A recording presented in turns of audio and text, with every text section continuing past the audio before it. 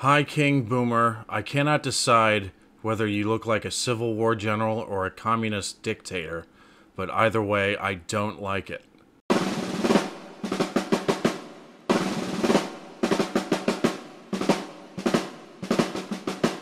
Hello, my lovely peeps. How we doing? It's good to see you. Welcome back to the channel, and I have a reaction for you today. This is sent in by Casper. Casper, you've sent in quite a few that I've chosen to react to, so well done on you. Um, still puzzled how to say your last name, though. You gotta help me out. But anyway, uh, this is from that Mitchell and Webb look yet again. It's called Get Me Hennimore." So, other than that, I have no clue what this is to be. I don't know what this is to be, but uh, it's Mitchell and Webb, so it's got to be at least decent, right? So I'm to react to it. Remember to like, subscribe, do whatever you guys want. And let's check it out. Here we go.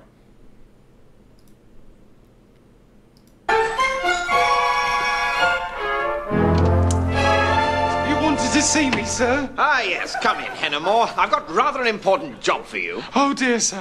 As you'll be aware, my best and oldest friend, Jock, is coming in this afternoon, and we're to have a round of golf. Jock.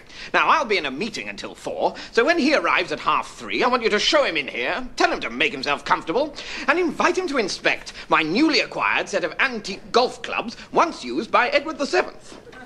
Do you understand? Yes, sir. Got it, sir. Edward the Seventh. One important thing to remember is that Jock is a recovering alcoholic, and at this stage in his rehabilitation, it is absolutely vital that on no account should he get even the slightest whiff of liquor. Right, you are, sir. He was an extremely violent drunk in his day, Hennimore, and bitterly obsessed with his failure to break through as a golf pro, an eventuality which, when in his cups, he lays squarely at the door of American golfer Jack Nicklaus. Oh, right, sir. Nicklaus. On an unrelated note, my wife has just sent me this rather handsome and handsomely stocked drinks cabinet, exactly in the shape of a set of Edwardian golf clubs.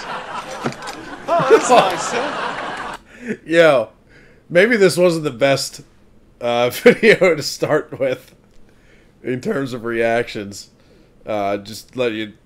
Here's a little, I guess, kind of personal story. There's where I live um, in the county that I live. There's already like over a hundred golf courses um, it's Florida. There's golf courses everywhere in Florida, but in, my, in the particular county that I live in, there's over a hundred of them, and they're trying to build five more in a nature preserve. So they're trying to knock down the nature preserve and build five more golf courses. Like like they really need five more, you know, which sucks. You know, I've even signed petitions to to protest this and get them to not do it because it's just gonna, you know, destroy the home for. Uh, many uh, wildlife that live in that nature preserve. But uh, anyway, but on the flip side, so that's a bit triggering, a little bit.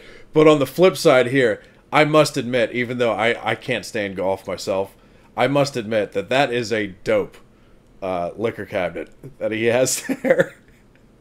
if if I saw one, of I wouldn't even. I've never bought anything golf related in my life, but if I saw that, I'd be like, mm, I might have to get that that that is a pretty uh, dope thing to have in your house, I must say. Isn't it? Now, you've probably already thought of Isn't this, it? but on no account should you show the fully stocked drinks cabinet to the violent alcoholic Scotsman instead of the set of golf clubs. Absolutely, sir. Okay, well, I'll just pop them both on this lazy Susan for now. and remember, I don't want any screw-ups like last time. It's been a difficult year for transcosmic corridors, and the last thing we need is any kind of fracas. Don't you worry about it, sir.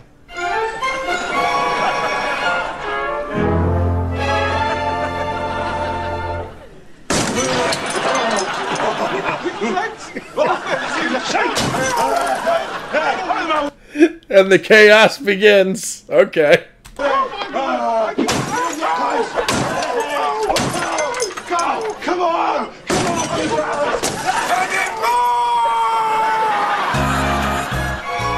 Nice. I like how it said "fuck you, Nicklaus" in the back, and like fuck, it looked like it was in blood.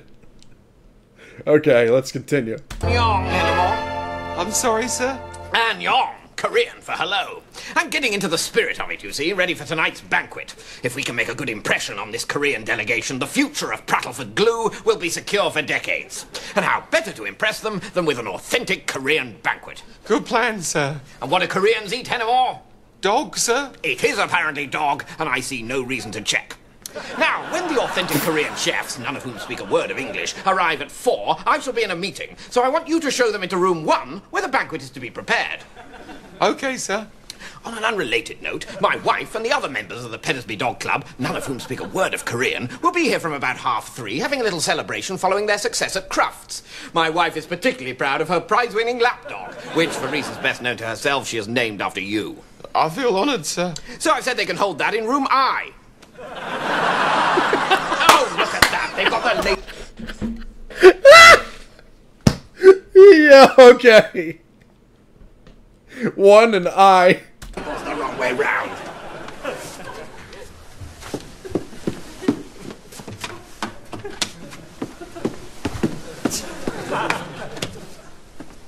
So, there'll be about 34 dogs in there, all under their Crufts victory cloches, which will be nice. Sounds lovely, sir. And I fail to see how even you, Hennimore, can screw up two such simple events. You can rely on me, sir. If they have Koreans flipping out, I might lose my mind.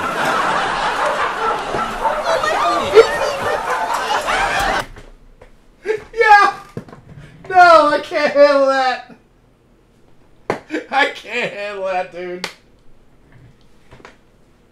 The first shot is a guy swinging a fucking. swinging a cleaver. Holy shit, yo.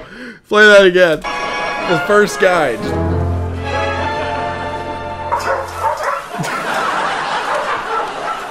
yo. Oh my god. They don't seem to have arrived yet.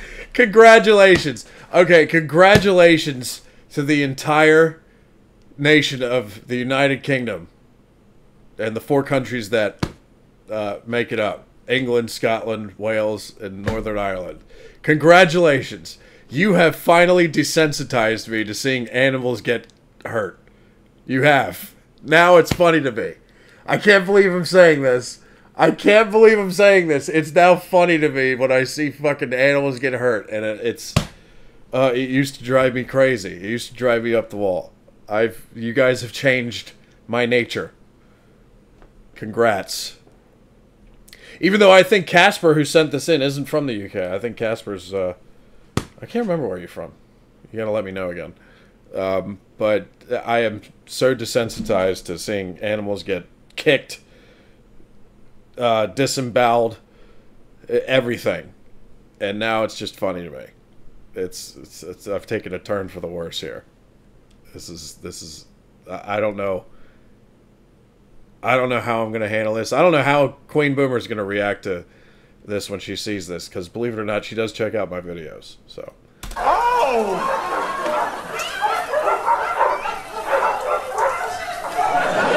Oh no! Yo, I would watch a whole series on We this. are blessed today, Hennimore, for our schism with Rome may finally be at an end. I've been hoping for that, sir. A rare cine film of Pope John the 23rd proposing reconciliation has recently been unearthed. And because of my uncanny physical resemblance to the Holy Father, several senior Anglican bishops are coming here to my office to watch it at four. And I don't need to tell you what the recatholicization of England could mean to all of us here at Ampleforth Rosary Supplies. Spectacles, testicles, sir.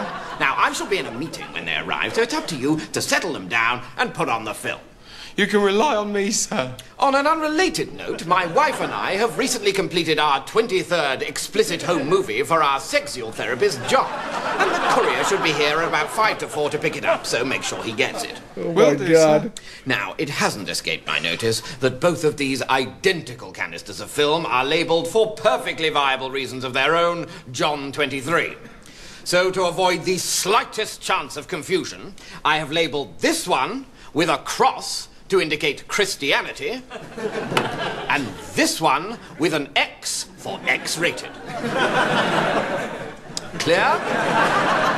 Absolutely, sir. I foresee no problems.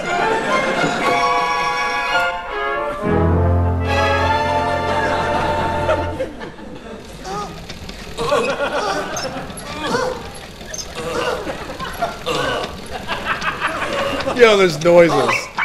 Get down, Hennimore. I trust all is well here, my lords. I broke my glasses on the way back from my meeting. What the? It's your sexual therapist on the phone, sir. He wants to know if he can borrow the costume for when he does Mrs. Therapist. Hannibal! Oh god, that was good. That was that was good stuff. I think the title of it should be "Don't Get Me Hennimore," because he'll screw it up. I like how it's like from the beginning. It's like it, they've kind of reversed it in a way where like you, you already know it's getting messed up, but it's just leading up to it. It- It's you know usually with with stuff like that. I, I guess um, in normal sitcoms like that you don't know what's going to get messed up and then it gets messed up, or uh, if you do know it's coming, then you're a lot smarter than me because usually I never pick up on those things.